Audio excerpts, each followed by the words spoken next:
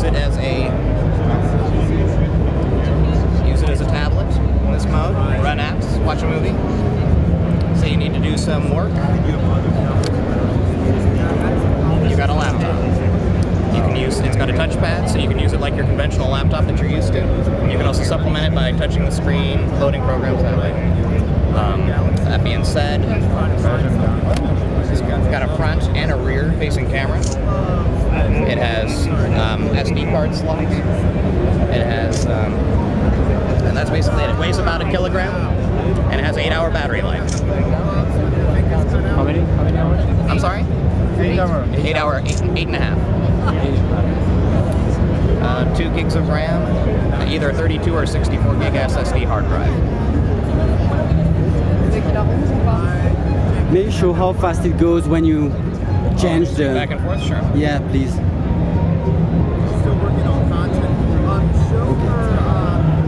Not sure where I am on this one. I was demoing the other one, if you remember. Uh, this particular design has PhD layout. Yes, it is. These are all prototypes. There you have it. Uh, specs here, let's You- They go like this to get rid of the glare for you.